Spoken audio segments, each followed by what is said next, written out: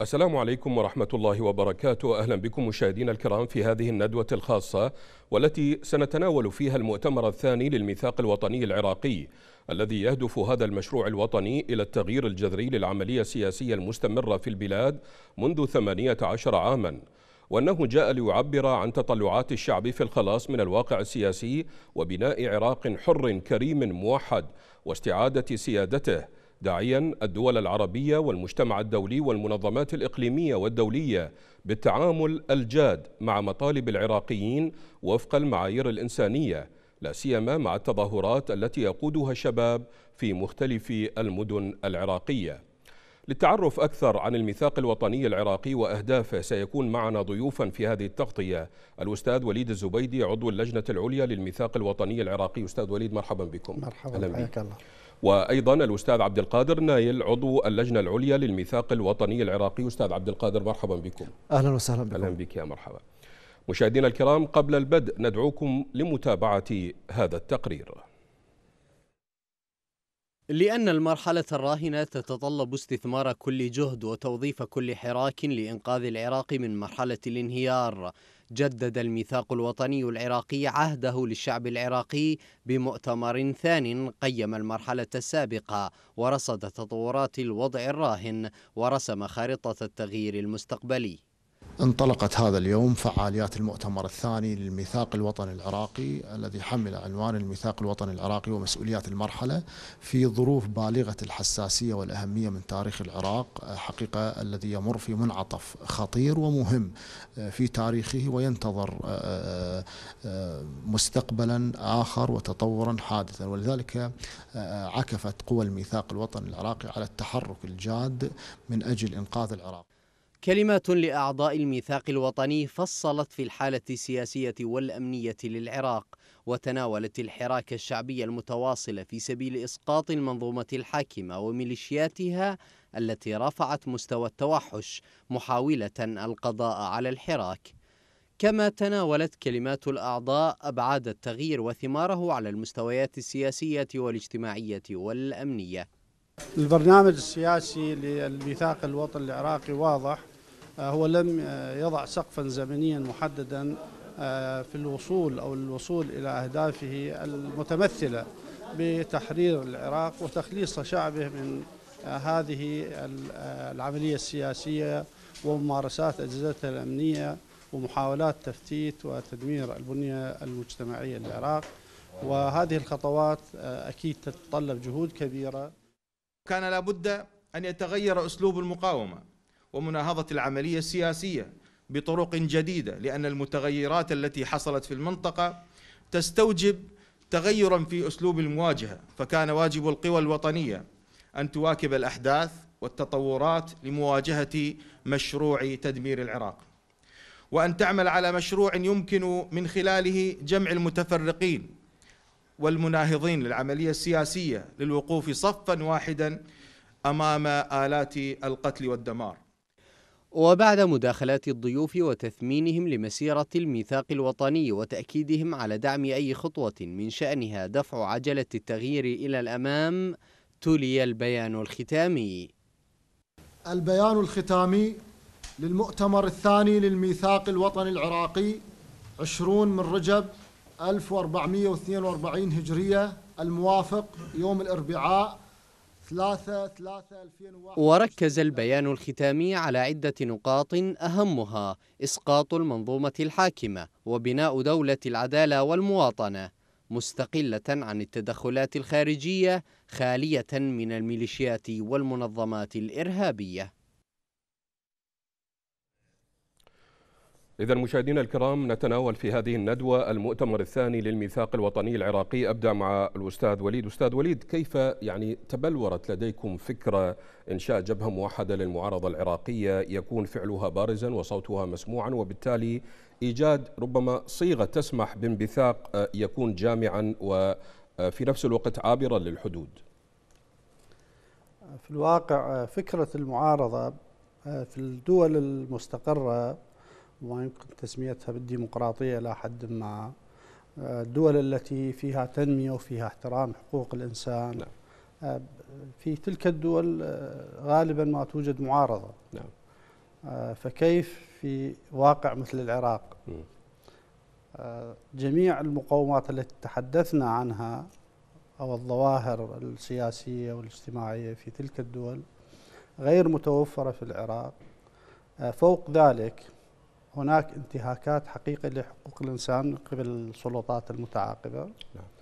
هناك جرائم تطال غالبية الشعب العراقي هناك سرقات لا حدود لها للمال العام نعم.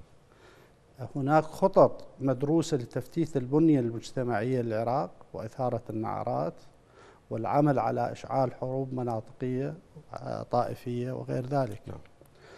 إذا هنا الحاجة أصبحت ملحة والسرعة أكبر لأنه آه، يجب أن يكون هناك بديل لهذه المنظومة السياسية التي آه، أثبتت للقاصي والداني بأن بأن جميع ممارساتها تضر بالعراق ولا يمكن أن تقدم فائدة لجميع العراقيين. هذا الحافز آه، بالتأكيد يدفع بغالبية العراقيين وبالتأكيد في الواجهة النخب العراقية نعم. للتفكير لما هو ربما أبعد من المعارضة الشارع العراقي المجتمع العراقي آه، كثير من الدول والمجتمعات التي لها علاقات مع العراق كبلد وكدولة نعم. وكمجتمع آه، يطالبون سواء بالخفاء أو بالعلن أحيانا بدعوة العراقيين لإزاحة هذه المنظومة وللإتيان بشخصيات عراقية تضع في أولوياتها وحدة المجتمع والتنمية لكل نعم. مناطق العراق والتخلص من هذا الإرث الخطير الذي تكدس طيلة هذه السنوات. لهذا يمكن القول أن التسمية أوسع وأكبر من المعارضة. نعم نعم. المعارضة على على على الأقل تشترك مع السلطة بمشتركات ربما تصل إلى 60% أو 70% نعم. لا مشتركات لكل العراقيين مع سلطتهم. بالضبط نعم. على على خلاف ذلك هناك آه، يعني بون شاسع بين القائمين على السلطة والمتحكمين بهم. نعم. وهذه الحاجة يمكن آه، القول بأنه عمل الآن أصبح أكثر آه، تبلور بعد أن أقر الشارع العراقي من خلال الاحتجاجات والمظاهرات وأيضا الطروحات وحتى الأدب الذي يقال في مناسبات عديدة الشعر نعم. وغير ذلك بأنه هذه الوجوه هذه الأحزاب هذه الكتل سواء التي جاءت مع المحتل في 2003 أو الذين التحقوا بهم آه، نعم. فيما بعد لا يمكن أن يأتوا بفائدة واحد من ألف للعراق نعم. وألف بالألف بالنسبة لهم. والتجارب أثبتت ذلك أستاذ وليد. أكيد. نعم. في كل المجالات. تماما. نعم نعم. فهذا الأمر يدعو أنا أعتقد إلى ما هو عنوان طيب، كبير طيب نعم. عنوان آه، يتجاوز ما يسمى نعم. بالمعارضة نعم. إلى ما هو أوسع وأكبر وأكثر فاعلية طيب أستاذ عبد القادر آه، في اللجنة العليا للميثاق الوطني وضعتم شروط آه، للمشاركة في هذا الميثاق هو أن يكون المتقدمون من الرافضين إلى الاحتلال ومشاريعه والتي على رأسها طبعا مشروع العملية السياسية لكن هل الأبواب مشرعة لمن يريد الانضمام للميثاق الوطني خاصة للذين دخلوا العملية السياسية وبعد ذلك ندموا على ذلك بعد أن تكشفت لهم الحقائق وكذب المشروع الأمريكي وزيف العملية السياسية؟ من المؤكد تماما أن الميثاق الوطني العراقي أراد لبناء نظام سياسي جديد نعم. لأن النظام السياسي الحالي وصل إلى طريق مسدود وهو فاشل وقيادته وأحزابه التي تمسك بالسلطة. نعم. أوصلوا العراق إلى حالة من التدهور. بالتالي نحن ليست مشكلتنا أننا طامحون للسلطة. بقدر ما أننا طامحون لإنقاذ العراق. فلذلك الحالة العراقية حالة فريدة وهنا جاء الميثاق أيضا بحالة فريدة. هو أنه أسس لقضية العمل الجماعي المشترك لإنقاذ العراق وبالتالي هو انطلق من مؤشرات إيقاف مشروع تدمير العراق. هؤلاء الذين تسنموا مناصب ما بعد الاحتلال في عملية سياسية هم موقعون ومنفذون ومقاولون ثانويون من أجل تدمير العراق في مشروع تدمير العراق الذي أقر بعد 2003 والذي يعني آه، بعض التسريبات المهمة أن أجله أو مدته 20 عاما. الذي شرف على الانتهاء. وبالتالي نحن أمام متغيرات مهمة في آه، آه، مسألة يعني العملية السياسية. ستنتهي بعد سنتين مثلا؟ يعني هو هناك مشروع مشروع كان يقر آه، في تدمير العراق تدمير دولته نسيجه الاجتماعي. نعم. بالتأكيد هناك مراحل حقيقة لم تتحقق. بسبب أولا المقاومة أربكت اللاعب الإقليمي والدولي في إنتاج المشروع الذي بشر آه، فيه آبان الاحتلال بأنهم سيذهبون إلى تقسيم المنطقة والدول العربية بما يسمى خارطة الشرق الأوسط الجديد جديد. أو الكبير أو الأدنى بما ذلك من المسميات نعم. المقاومة كسرت هذه القضية وهذه المعادلة بل أحبطتها وإلى الآن حقيقة آه، هم غيروا قناعاتهم في مسألة تقسيم المنطقة على أسس طائفية نعم. ولذلك هم أطلقوا يد إيران في العراق منذ الاحتلال من أجل إنجاح المشروع تقسيم الدول العربية على أسس طائفية ومذهبية تبقى متناحرة حتى يبقى الكيان الصهيوني هو الدولة الأكبر طيب. بالتالي آه، آه، حقيقة هناك في مشروع تدمير العراق كان مقر نعم 20 20 عاما أن يتم تدمير العراق آه، آه، دولة نظاما آه، نسيجا اجتماعيا بلدا. نعم. بالتالي هناك فشل كبير. هؤلاء منفذون لهذا المشروع. هم ارتضوا لأنفسهم. حتى لو أبدوا ندمهم وبأنهم سيعودون إلى الخط الوطني أستاذ ما هو العراق ما هو العراق مليء بقيادات فاعلة. واليوم نعم. ما يف ما تفرزه الساحة من قيادات شبابية في تظاهراتها وغيرها. يا أخي سر نهضة الدول لمهندسين عراقيين. هذه ماليزيا سر نهضتها آه، المهندسون العراقيون. سر نهضة آه، بريطانيا الطبية للأطباء العراقيين. بالتالي هناك دول ارتقت باقتصاداتها من خلال المفكرين الاقتصاديين طيب. العراقيين. بالتالي لا نحتاج نعم. هؤلاء. هؤلاء عليهم أن ينسحبوا ليكفروا عن ذنوبهم لا أن يعودوا ليقودوا. هؤلاء عليهم أن ينسحبوا حتى الشعب العراقي يمكن أن يسامحهم يمكن أن لا يحاكمهم مستقبلا. طيب جميل. لأن العراقيين لديهم وقفات جادة عندما يستعيد بلدهم. نعم. على هذا الأساس فإن الميثاق الوطني يبني آه، قاعدة المعمرون آه، آه، القادمون للعراق. نعم. طيب. أستاذ عبد أستاذ وليد يعني من خلال الاطلاع على النص الكامل للميثاق الوطني العراقي وأيضا للبيان الختامي للميثاق آه، هناك مؤشرات تدل على تطابق تام بين مبادئ الميثاق الوطني وشعارات المتظاهرين والمعتصمين التي رفعوها في ميادين وساحات العراق هل هذا يؤكد صحة ودقة آه، منهج ومبادئ الميثاق؟ بدأ تسمح لي آه، يمكن أكمل ما تفضل نعم. به الدكتور عبد القادر لأن يبقى هذا موضوع يعني قابل للاجتهاد وقابل لأكثر من وجهة نظر هو مشروع أن يشارك العراقيون في إدارة البلد نعم. آه، ما تفضل به الدكتور دقيق وواضح وهو يتحدث عن مجاميع ارتكبت جرائم لها أول وليس لها آخر نعم. حقيقة خلال عشرين سنة الماضية تقريبا آه، طرح آه، موضوع يعالج هذه هذه الأمور في دول العالم ونجحت أكثر التجارب وهو موضوع العدالة الاجتماعية أو العدالة الانتقالية. طيب. هذا الأمر آه، طبعا تمت دراسته أيضا وكيف يمكن التعامل في في حال حصل اتفاق عليه من جميع الأطراف نعم. في العراق أو تطبيقه. أهم شيء في هذا الموضوع آه، هو ما يسمى بجبر الضرر آه، المشكلة في العراق أنه مئات الآلاف من العراقيين تعرضوا لمختلف أنواع التعذيب ببشاعة عوائل تهجير كل ما يخطر بباله وما لا يخطر بباله نعم. إذا القضية بتقديري هي ليست لدى السياسيين. م. يجب أن نذهب إلى الشارع إلى الناس الذين حصل عليهم الضرر. هذا الظلم وهذا الضرر. طيب. هذا جبر الضرر يتم بالطريقة التالية. أن يخرج جميع الذين تسببوا أو مارسوا هذه الأعمال ويذكروا بالحادثة الفلانية بالتاريخ الفلاني الضابط الفلاني المسؤول الفلاني قام بتعذيب. فلان قام بسرقة أموال الشعب. نعم. وإلى آخره. عندما يطرح هذا الأمر ويأتي من آه، ساهم في السرقات وفي التخريب وفي التدمير ويعترف أول شيء يكون هناك متنفس بين العراقيين لتخفيف التوتر. لأنه ليس كل من لحق به ضرر يريد أن يعوض ولكن يريد أن يشعر بإنسانيته بكرامته نعم. بمواطنته كعراقي.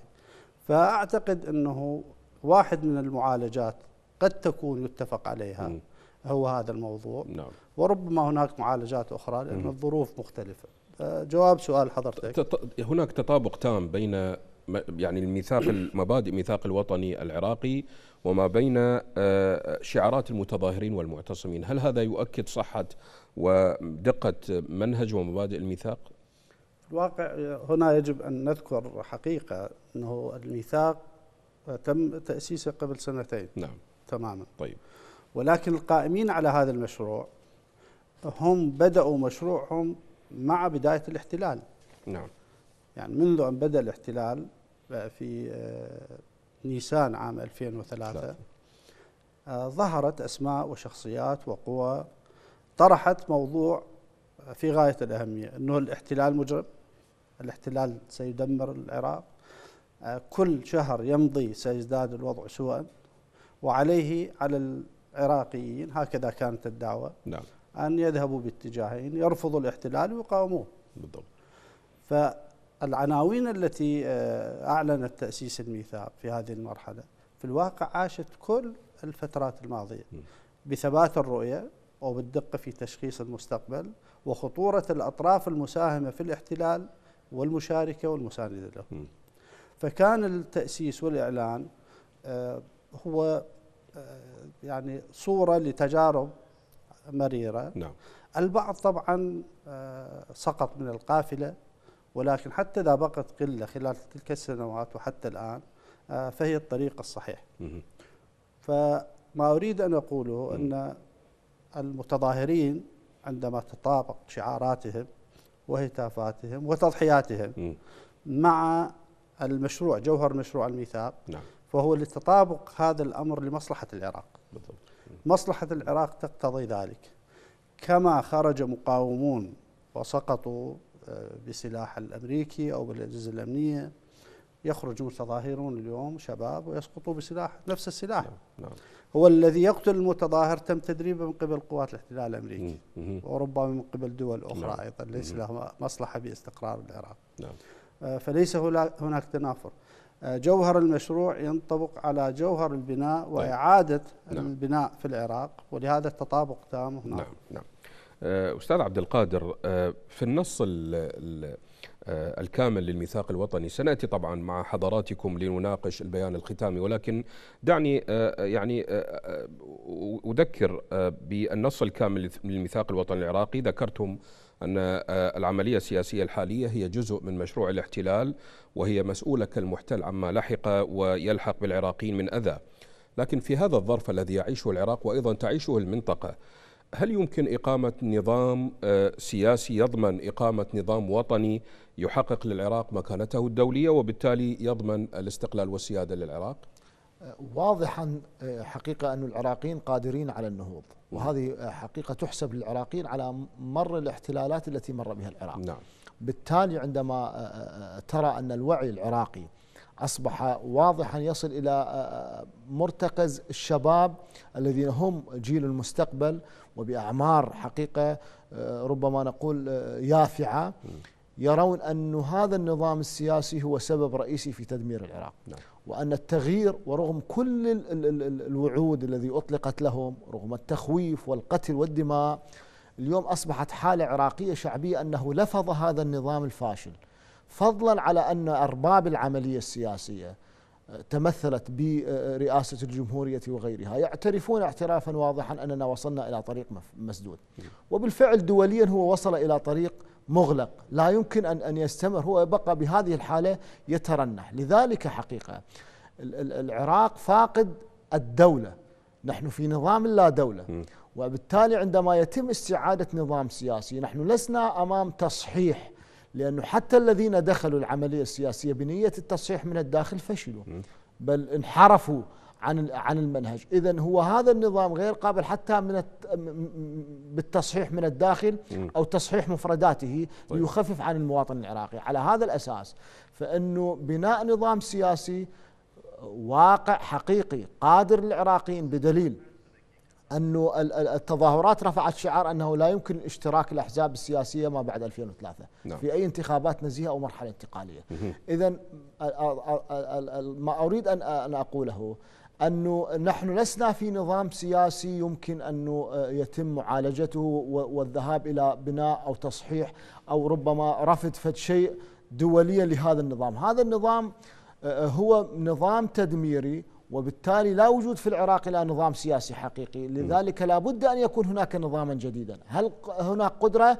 بالتأكيد هناك قدرة على بناء نظام سياسي وقدرة على كتابة الدستور بما يلائم الحالة الوطنية للعراقيين لا سيما أننا في مرحلة مفصلية مهمة في تاريخ العراق والآن هناك انعطافات كبيرة على مستوى المنطقة العراق سيكون في قلب العاصفة فيها تأثرا وتأثيرا. والشعب العراقي وصل إلى مرحلة الوعي. بالتالي عندما يجمع العراقيين والميثاق يدفع بهذا الإطار وكما أشرت لك أنه ليس طامحا أن يكون هو السلطة إنما طامح أن يتم بناء نظام سياسي حتى ولم يكن هو الذي يقول يعني الشعب العراقي هل لديه القدرة في استيعاب نظام سياسي جديد أستاذ عبد القادر بعدما مر بالتجربة منذ 2003 ولحد الآن. نعم بالتأكيد. الشعب العراقي هو الذي يطالب الآن ببناء نظام سياسي جديد. نعم. لأنه الآن نظام المحاصصة الطائفية والحزبية الذي دمر الشعب العراقي آه، حقيقة لا يمكن بقائه بقائه معنى بقاء معاناة الشعب العراقي سيتفاعل معها مع النظام السياسي الجديد هو هو متفاعل قبل أن يبدأ النظام السياسي طيب. الجديد نعم. لأنه هو يطالب الآن بتغيير نظام سياسي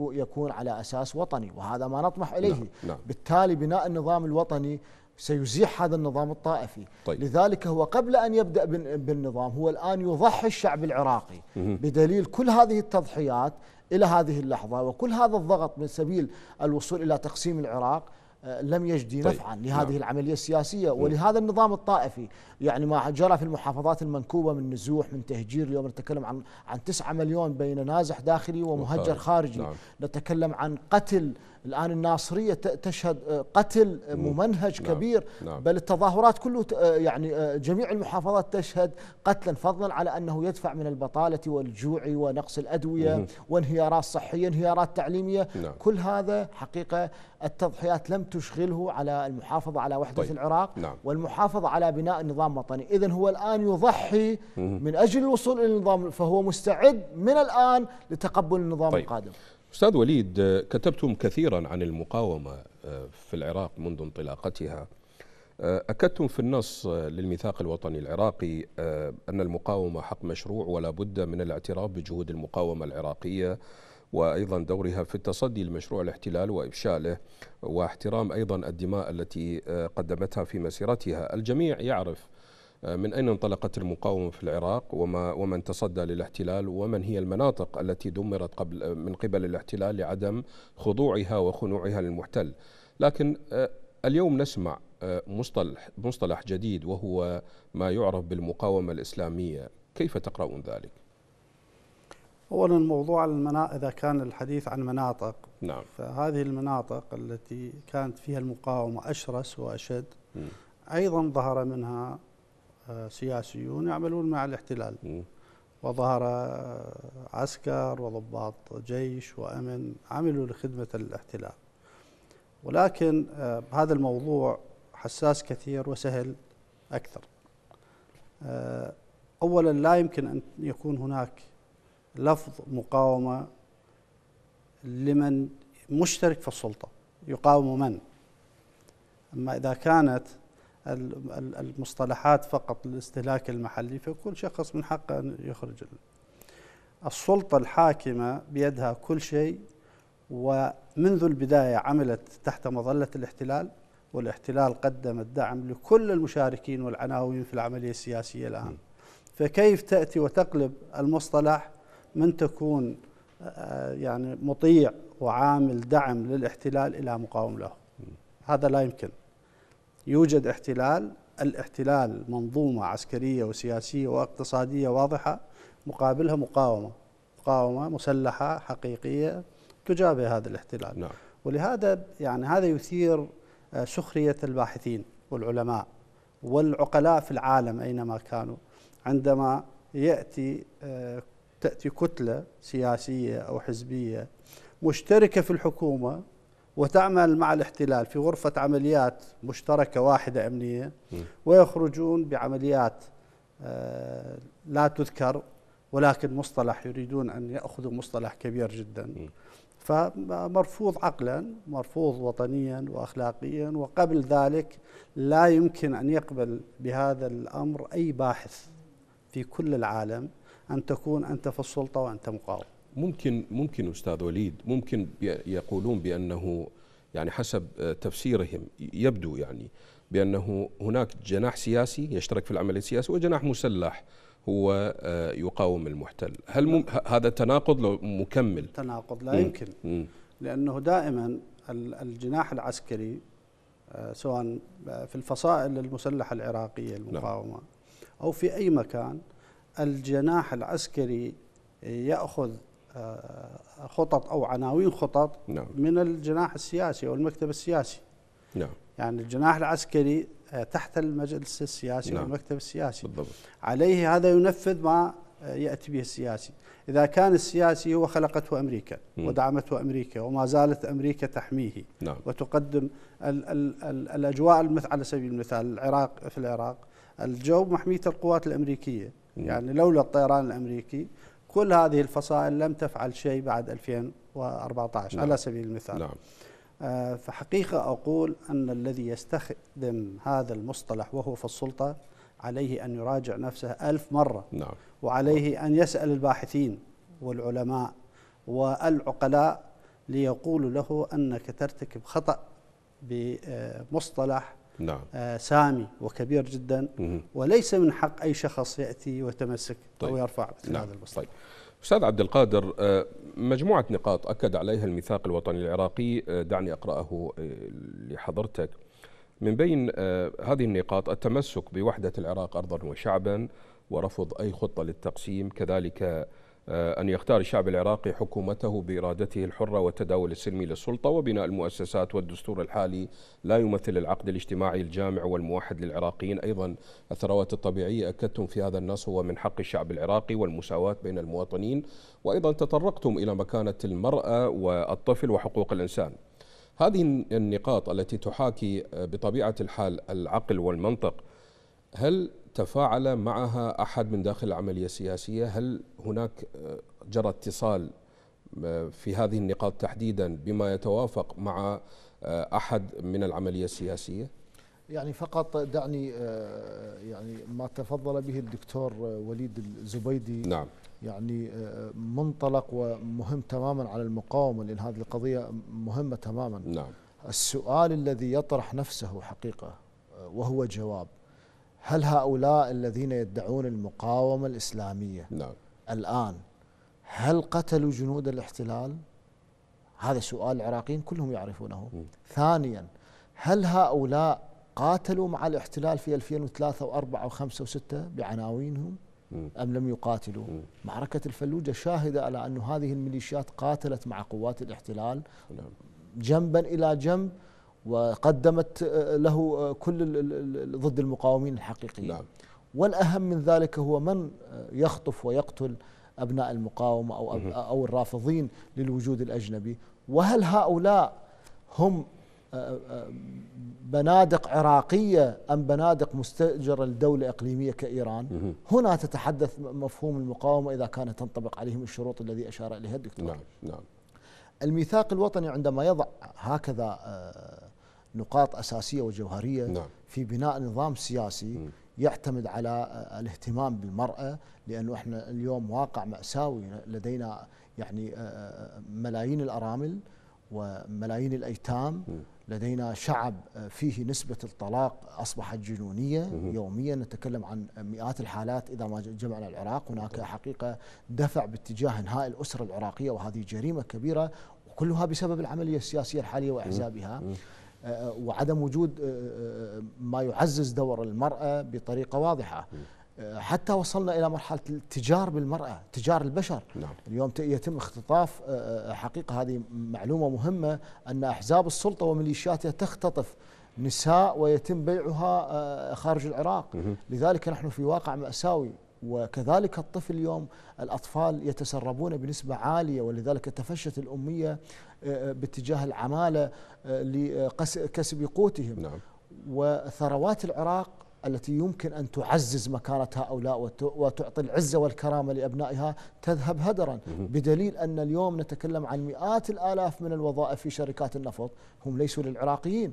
وهناك البطالة كبيرة. نعم. إذا إذا هناك رؤية حقيقية في المحافظة على ثروات العراق في ديمومة بناء إعادة بناء الأسرة العراقية فضلا على أن هذه القضية لن تحظى بوجود حقيقي لاسم العراق دون أن نحافظ على وحدته. واليوم العراقيون جميعا يدركون خطورة تقسيم العراق وكلهم يصرون بكل مكوناتهم على رغم المآسي التي يتعرضون إليها.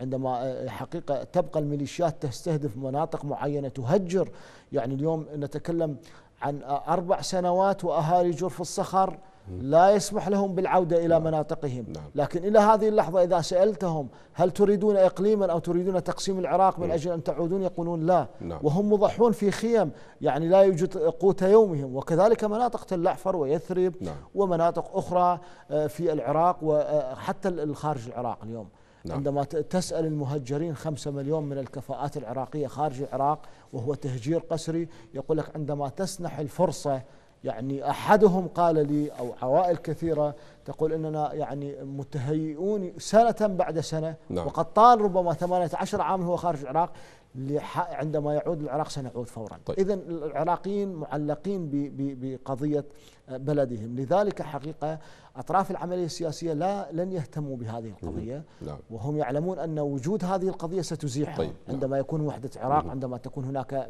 بداية نهوض للأسرة العراقية سينهض المجتمع. لذلك آه، حقيقة الميثاق لا يتواصل بهذه القضية. وهم أيضا حقيقة يعرفون تماما أنهم جزء من المشكلة لأنهم رضوا للأسف الشديد.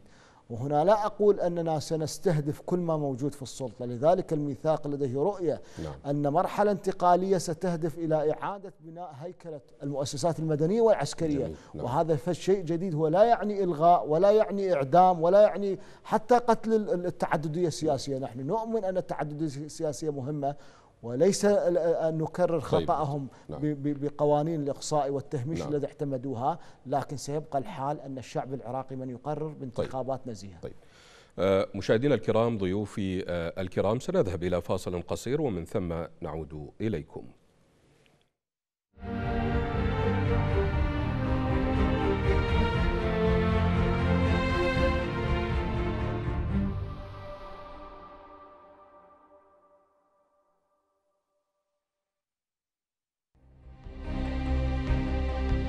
مشاهدينا الكرام ننوه لحضراتكم أن تردد قناة الرافدين الفضائية هو عشرة آلاف وسبعمائة وسبعة وعشرون الاستقطاب أفقي على مدار القمر نايل سات.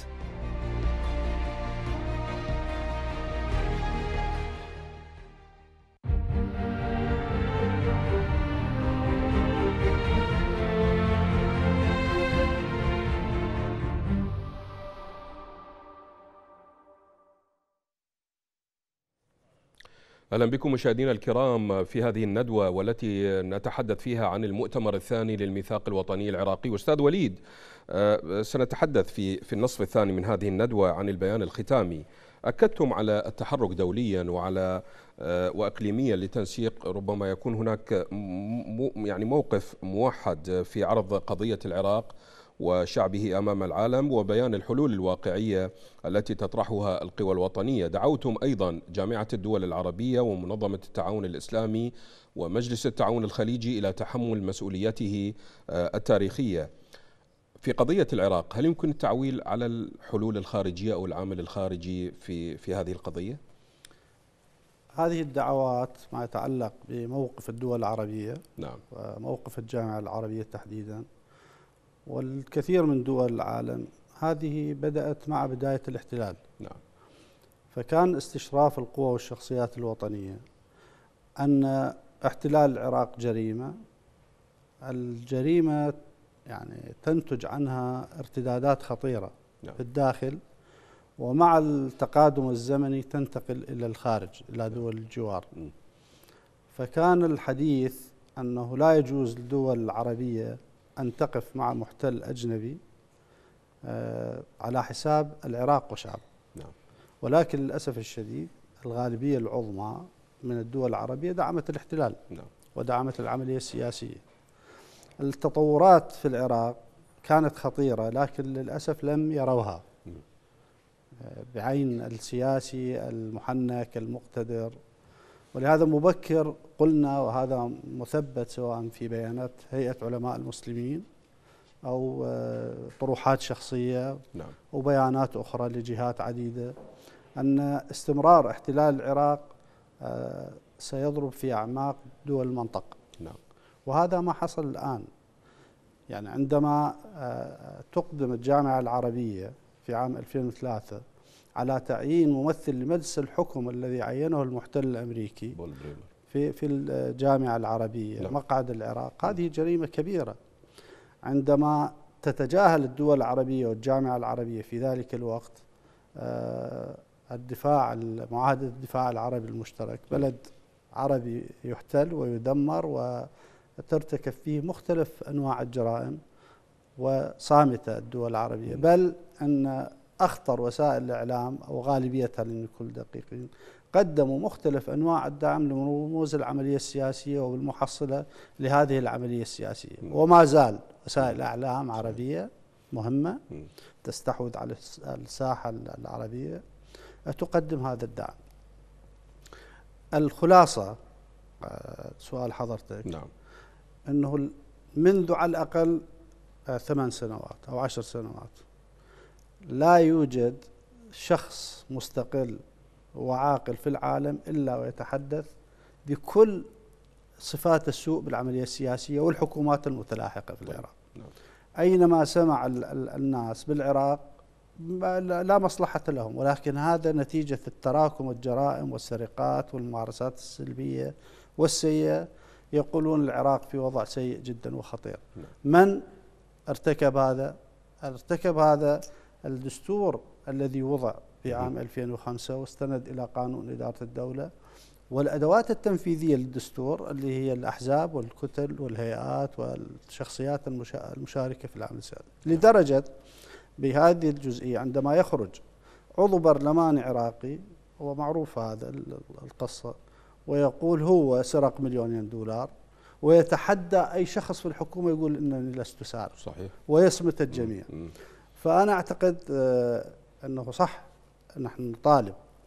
ولكن على الدول العالم ولكي يعني تحاول لملمة خطر تدهور الأوضاع في العراق أن تعمل على تصحيح المسار والتخلص من هذه العملية السياسية. وقبل ذلك دعم الشخصيات والقوى الوطنية المخلصة لتغيير الدستور وبناء تجربة جديدة.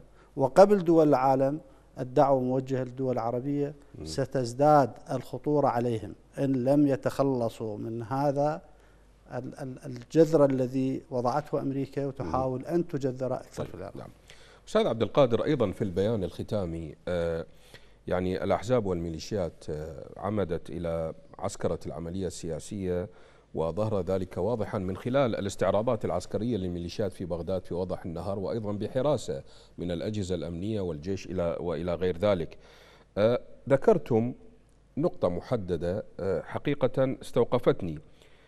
هذا الأمر سيجعل جميع الخيارات مفتوحة أمام الشعب العراقي لتغيير هذه العملية. يعني ما ما قصدكم بجميع الخيارات مفتوحة؟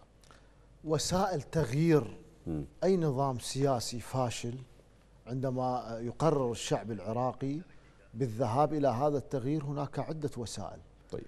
وهذه الوسائل كلها مشروعة لأن الشعب هو مصدر السلطة في القرار السياسي وبالتالي آه، آه، هم كانوا يوهمون العالم أن هناك انتخابات ومعلوم تماما يعني أصبح القاصي والداني يعلم أن الانتخابات في العراق وهمية شكلية.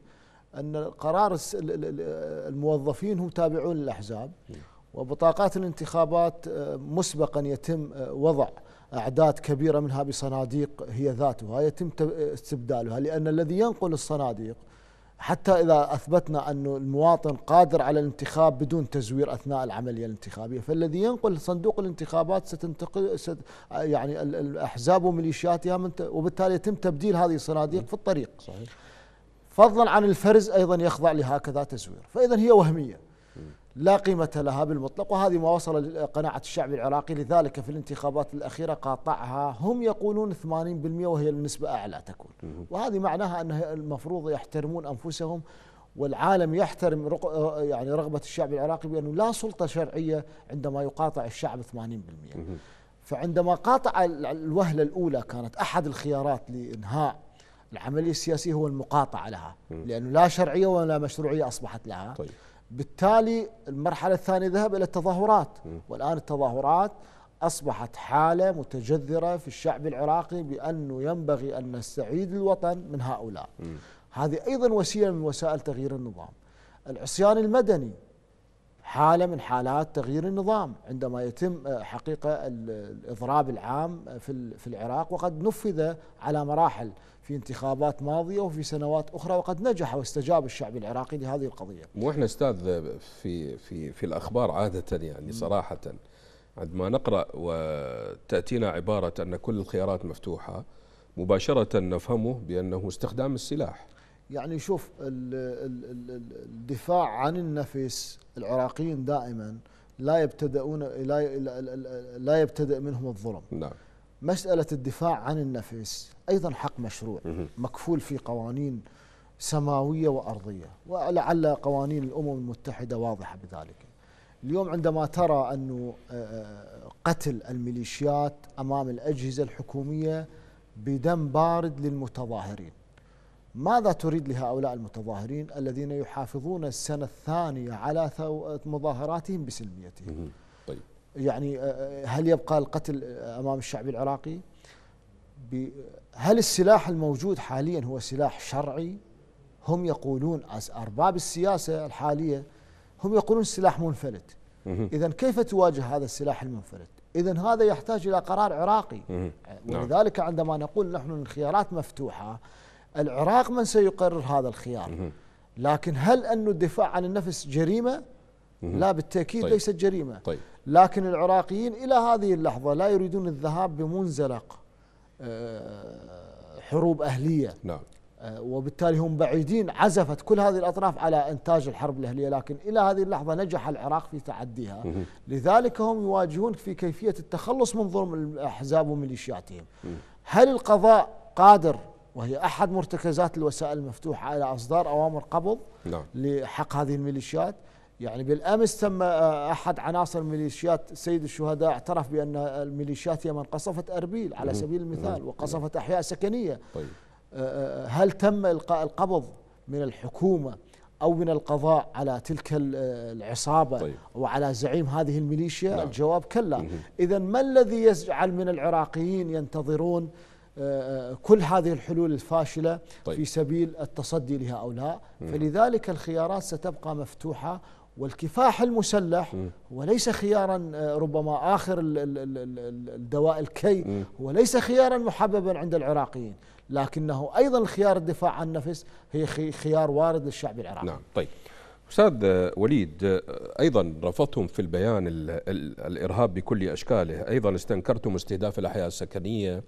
والتهجير القسري لأبناء جرف الصخر وعزيز بلد وتل عفر ويثرب وغيرها من المناطق. وأيضا استنكرتم مصادرة, مصادرة أموال المواطنين من بينهم المسيحيون وإجبار المواطنين خاصة في آه، المحافظات المنكوبة على بيع منازلهم تحت تهديد السلاح والابتزاز آه، لتنفيذ التغيير الديمغرافي لكن هنا من يتحمل مسؤولية الجرائم؟ هل لديكم في الميثاق الوطني العراقي آه، توثيق لهذه الجرائم حتى لا تسقط بالتقادم؟ الميثاق يعمل ويتعاون مع منظمات حقوقية معنية بهذا الأمر. نعم. آه، تعرف حضرتك والمشاهدين الكرام آه، الميثاق آه، هيئة سياسية أو جهة سياسية. ولكن عندما تتحدث عن جرائم ترتكب تستند إلى منظمات وهيئات متخصصة بجانب توثيق الجرائم وتوثيق الانتهاكات لحقوق الإنسان نعم. والاستيلاء على أملاك الآخرين وبالتأكيد هذه المعلومات موثقة يضاف إلى هذا أن وسائل إعلام عالمية تتحدث بالتفصيل يعني خاصة الأمريكية والأوروبية نعم. عن آه، مثلا موضوع الاستحواذ على أملاك آه، أخوتنا المسيحيين نعم. هذا الأمر أيضا فيه وثائق وهناك أدلة دامغة وهناك أيضا ما يؤكد أن القائمين على السلطة.